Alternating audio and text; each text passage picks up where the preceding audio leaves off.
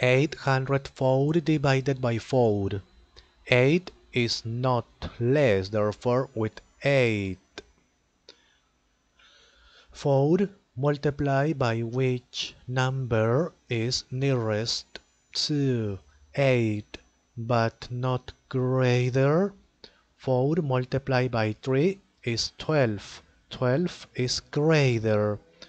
Multiplied by 2, 8 is not greater. Okay. Subtract 8 minus 8, 0.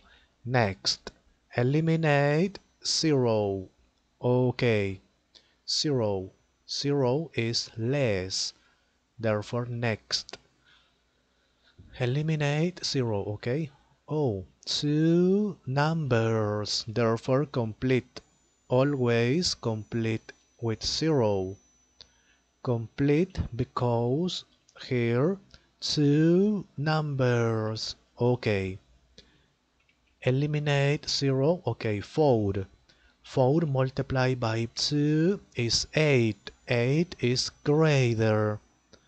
Multiplied by 1 is 4 is not greater. Okay. Subtract. Next. There is not number. Therefore finish it